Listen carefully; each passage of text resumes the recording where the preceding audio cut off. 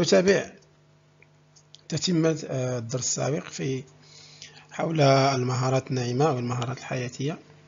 إذا المهارة الثانية التي قلنا قد تطرقنا عليها إليها هي مهارة العمل ضمن فريق وهي القدرة على المشاركة في مجموعة عمل يتحمل فيها كل منهم مسؤوليته تجاه ما كلف به.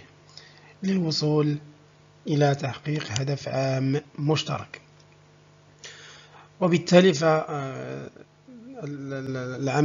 ضمن فريق تجمعه آه، أهداف مشتركة وكل يقوم آه، بالجزء المنوط به.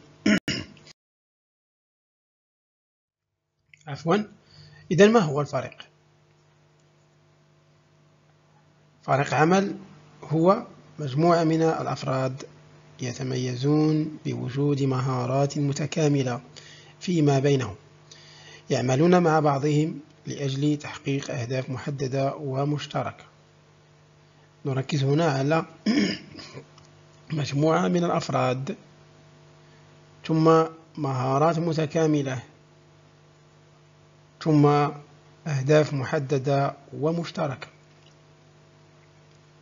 يعني هذوما أهم آه، الكلمات المفتاح التي آه، تشمل الفريق. فريق العمل من حيث آه، من وجهة أخرى وهو جماعات يتم إنشاؤها داخل الهيكل التنظيمي لتحقيق هدف أو مهمة محددة تتطلب التنسيق والتفاعل والتكامل بين أعضاء الفريق. ويعتبر أعضاء الفريق مسؤولين عن تحقيق هذه الأهداف. كما أن هناك قدر, قدر, قدر, قدر كبير من التمكين للفريق في اتخاذ القرارات. إذا ما هي صفات فريق العمل الفعال فلنقول أن هذا الفريق فعالا أم تشوبه بعض العيوب ما إلى ذلك؟ ينبغي عليه أن تكون فيه اللا رسمية ثم وضوح المهام والأهداف. ثم التعاون. الاعتمادية بين الأعضاء. ثم المشاركة والالتزام بتحقيق أهداف المنظمة. والقيادة الفعالة لنشاطات الفريق والتحضر في إدارات الصراعات والخلافات. أخيرا دعم الإبداع والابتكار والاتصالات المفتوحة. إذا هذه أهم. هناك هناك مجموعة من الصفات الأخرى لم نذكرها هنا لكن من أهمها هي التي أمامنا. الرسمية لأنه عندما تكون هناك مجموعة من الرسميات بين أعضاء الفريق فإلى حد ما يكون هناك نقص من في في من التواصل. لذا فيجب أن تكون آه، نوع من من المهنية عوض الرسمية أن يكون المهنية لا الرسمية. ثم أن تكون أهدافهم واضحة ومفهومة للجميع. الكل يعرف ما هي النتيجة المطلوبة منه.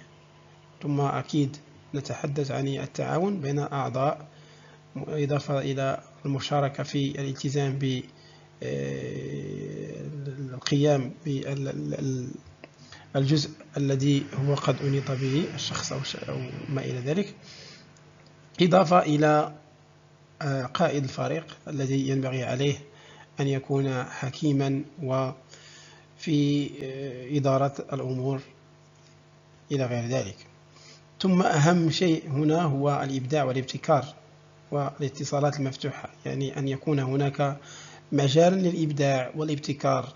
لا لا لا نضع مجموعة من القيود التي تحد من من ابتكارات وإبداع آه، الزملاء داخل الفريق. ما دام أن هذه الإبداعات والابتكارات تخدم مصلحة الفريق. آه، خطوات بناء فريق العمل. فمثلا نريد أن نكون فريق عمل فما الذي أو ما الخطوات أو ما هي السبل التي ينبغي علينا أن نسلكها؟ أولا هناك تشكيل بعد ذلك تأتي مرحلة العصف. ثم المرحلة الموالية وهي مرحلة التعاون.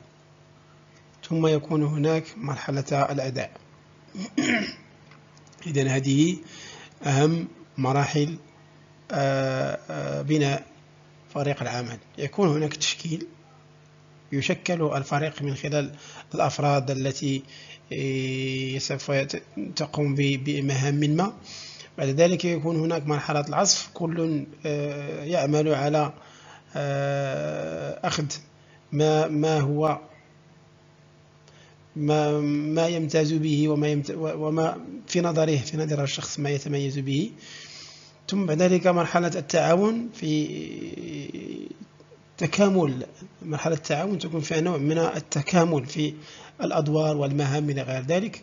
ثم آخر المرحلة وهي مرحلة الأداء الذي نقوم بإنتاج المنتوج النهائي الذي نحن بصدد آه، العمل عليه أو, ما إلى ذلك أو المشروع ما إلى ذلك. آه، ما هي فوائد العمل بمنهجة فريق العمل؟ أولا خلق بيئة عالية التحفيز ومناخ مناسب للعمل مما يزيد من إحساسهم من إحساسهم العاملين بالهوية المشتركة. إذا كما قلنا من بين فوائد آه، العمل بفريق وأن هناك تكون نوع من التحفيز من بين الأفراد. آه، فرد يحفز الآخر والآخر يحفز الآخر إلى غير ذلك. وبالتالي فتكون هناك إحساس بالهوية أننا نشترك في شيء ذات تلك هويتنا وما إلى ذلك. ثم إشعار العاملين بالفخر بأدائهم الجماعي لتقليل حالات الغياب والإهمال والكسل. وهنا نتحدث عن آه، الجميل. يجب أن نعترف بجميل كل فرد يقوم بعمله في أحسن وجه. نتحدث هنا أيضا عن التحفيز. ثم الحد من الصراعات. يعني يجب على وهذا آه، من من من مهام قائد الفريق عليه أن يحد من آه، الصراعات أن تكون بيئة العمل خالية من المشاكل خالية من من الشوائب التي أو, أو عفوا أو من الأشياء التي قد تعكر صفو العمل الجماعي. ثم الإحساس المشترك بالمسؤولية تجاه المهام المطلوب إنجازها. مما يؤدي إلى التركيز على الأهداف. إذا الإحساس بالمشترك بمسؤولية أو الإحساس بالمسؤولية. يعني كل يحس بمسؤوليته يحس أنه مسؤول عن نوع عن مهمة ما وأن هذه المهمة منوطة ب أن قدر إتمام هذه المهمة منوطة بإتمام مهمة أخرى يقوم بها زميله أو زميلك في الفريق. وبالتالي فهناك مسؤولية مشتركة. ثم تشجيع المبادرات التي قلنا قد تحدثنا عليه من قبل المبادرة الابتكار وتحفيز القدرات الإبداعية والمواهب الذاتية لدى الأفراد. ثم استجابة استجابة أسرع للمتغيرات آه، البيئية. آه، ثم توقع المشكلات قبل حدوثها وتقديم حلول لها. وزيادة فعالية الاتصالات أو الاتصال بين الأعضاء مما يؤدي إلى تحسين وتنمية مهارات الاتصال لدى الأفراد. إذا آه، تحدثنا عن أن يكون هناك مجال أو بيئة للإبداع ثم الاستجابة أسرع لمتغير البيئة أن هناك إمكان إن آه، القدرة على التكيف مع البيئة. ثم توقع المشكلات وإيجاد حلول بديلة لها مع زيادة فرص التواصل الفعال بين أفراد الفريق. إذا ما هي عوامل آه، إندماج أو اندماج الفرد في منهجية فريق العمل؟ أولا تحديد القدرات. فأول شيء يمكنك القيام به لقياس هل يمكنك الاندماج داخل فريق أو منهجية فريق عمل؟ أن تقيس أو تعرف ما هي قدراتك. أو ما هي قدراتك. ثم بعد ذلك يعني القدرات من المهارات المواهب إلى غير ذلك. ثم بعد ذلك نشوف الالتزام. نقيس آه، مدى الالتزام بالدور الذي آه، سوف أقوم به. ما المنتظر منك؟ استخدام المؤهلات التواصلية ومعرفة ما لا يجب عليك فعله. ما هي حدود تحركاتك داخل هذه أو هذا الفريق من خلال المهمة التي ستقوم بها. ثم في الأخير الإلمام بالهدف العام بمعنى أن تكون على علم دقيق بالنتيجة العامة. يعني أن تعرف ما هي الصورة النهائية للمنتوج أو للمشروع التي الذين نعمل عليه آه، كلنا كفريق. دور كل فرد في الفريق والانخراط الفعال وبناء علاقات تشاركية بين الأفراد. عوامل نجاح فريق العمل. أولا التجانس. ثانيا تحديد الأهداف ومعرفتها. تحديد الأدوار. الالتزام. الانفتاح. المرونة. تحمل المسؤولية ثم القيادة. يجب على كل فرد في هذا الفريق في هذا الفريق أن تكون لديه حس القيادة. فإن رأى خللا في الفريق فيمكنه آه، التدخل لمعالجة آه، أو لتوجيه الفريق توجيها صحيحا. أسباب فشل عمل أو فريق عمل. هناك قد تكون المعوقات إما تنظيمية وإما فردية. كما إذن كما تلاحظون أمامكم معوقات تنظيمية.